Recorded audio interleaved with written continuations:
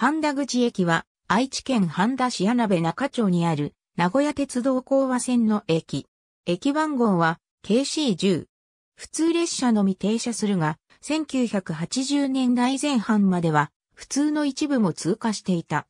トランパス導入前の半田口駅6両編成対応の相対式2面2000ホームを有する地上駅。駅集中管理システムが導入されている無人駅である。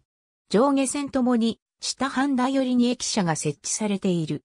2007年3月1日より駅集中管理システムが稼働。これに伴い従来あった名古屋よりの出入り口が閉鎖された。令和元年度移動東欧円滑化取り組み報告書。名古屋鉄道。2020年11月24日閲覧。AB 寺田雄一、海底審判データブック日本の私鉄猫パブリッシング。2013年256ページ。ISBN 978から47億7701万3364。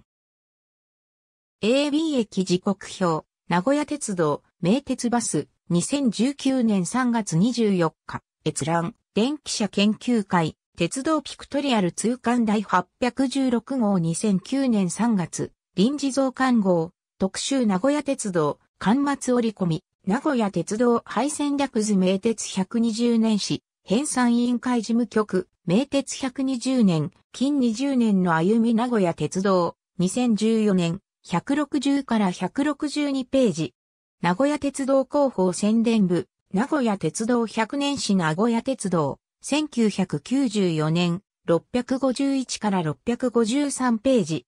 ありがとうございます。